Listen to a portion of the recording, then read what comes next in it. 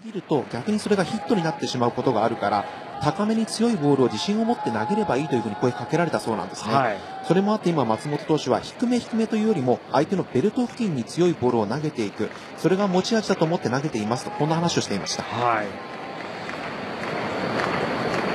まあ、やっぱり自分のボールを投げることを優先した方がいいと思うんですよね。え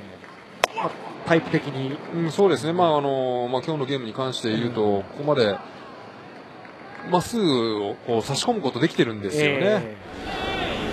ー、スライダーです。フォークみたいに落ちるんですね、あれね。フォークいきますね。ただまあイーグルス打線強力どこからでも一発回る打線でもありますが三振8個目毎回です島内